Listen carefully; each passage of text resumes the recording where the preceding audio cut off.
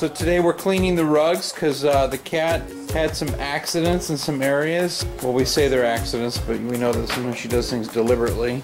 So we run it out this here to shampoo the carpet and we're going to use the rug doctor and it's something that uh, we definitely recommend. So let's go ahead and get started here.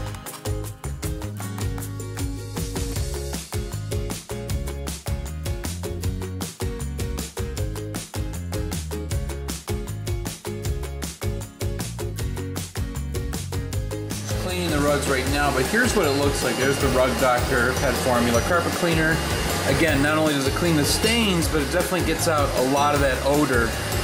Especially dealing with the cat here because the cat has really strong odor that's in the carpet right now, so it's imperative we just get it out.